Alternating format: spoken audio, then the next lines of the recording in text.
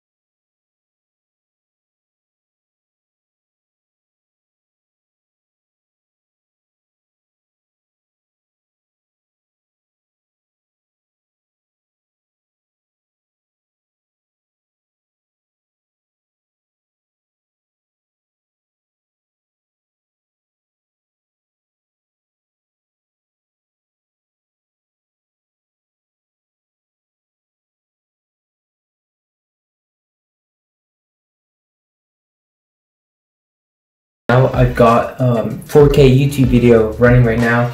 As you can see, the image is perfect. You can notice the tiny details. I had no issues with it, like connecting my Mac to this. It was really easy to set up, so I would definitely recommend this for like everyday use. Okay, so at the bottom, there's a toggle switch. Um, there is an option to do a picture-in-picture, picture by picture. Um, there is power off, um, there is source, and then there is menu. So if you click menu, um, you can get information about um, this monitor and then you can, the system shows self-diagnosis, display port version, HDMI, HDMI mode, FreeSync, um, Eco Saving Plus, Off Timer Plus, uh, PC AV mode, source detection, key repeat time, power LED on, and reset all there is on-screen display. You can like change transparency, uh, the position, the language, the display time.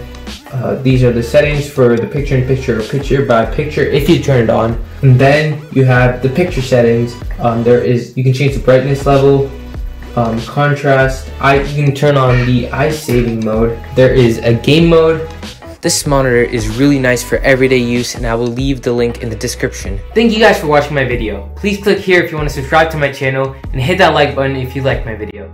Thank you guys for watching and bye bye.